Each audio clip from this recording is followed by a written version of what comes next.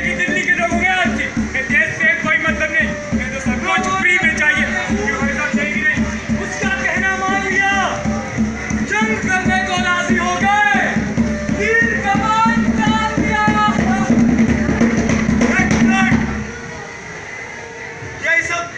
मतलब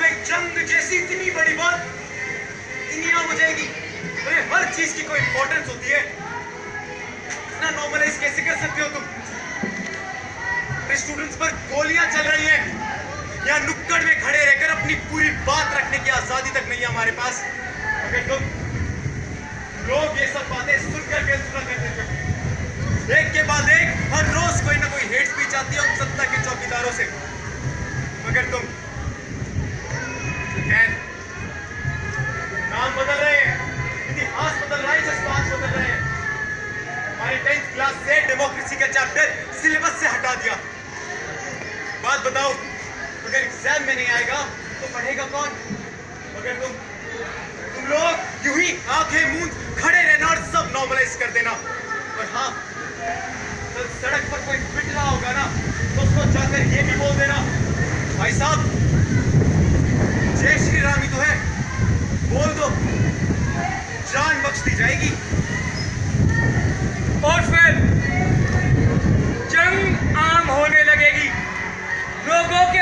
कोहरा शाम होने लगेगा। हर तरफ़ अंधेरा होगा। लोग आपस में टकराएँगे।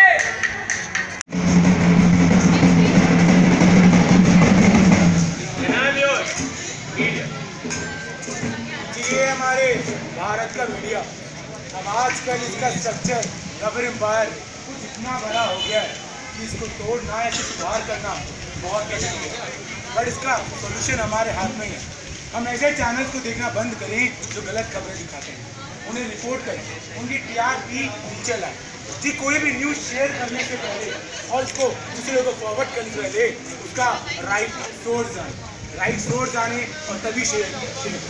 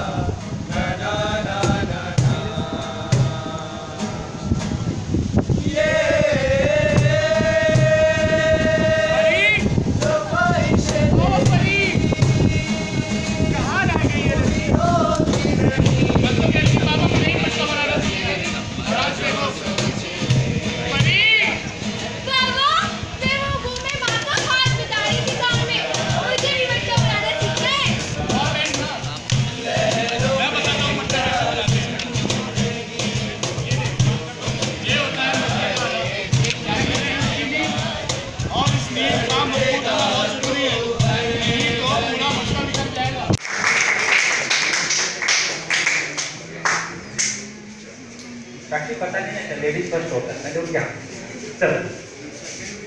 सेकंड वो सर। और वैसे भी फरवरी चल ही रही है अभी।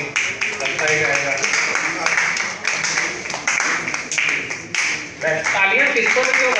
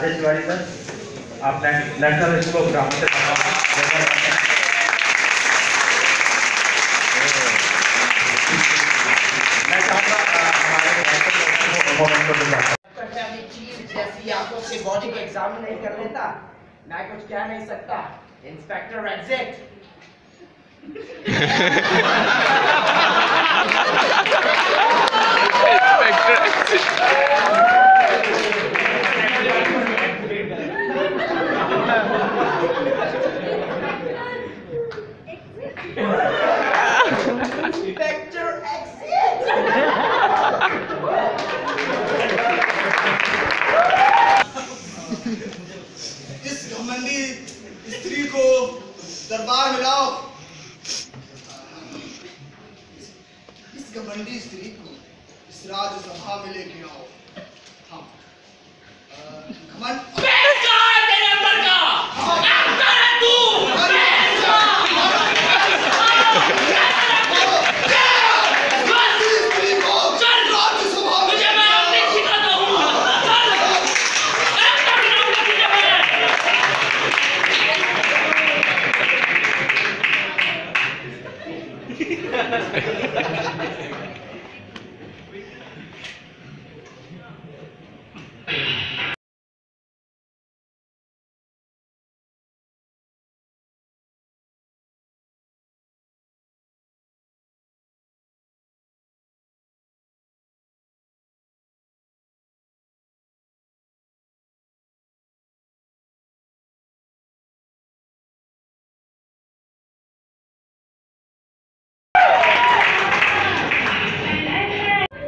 Let's go,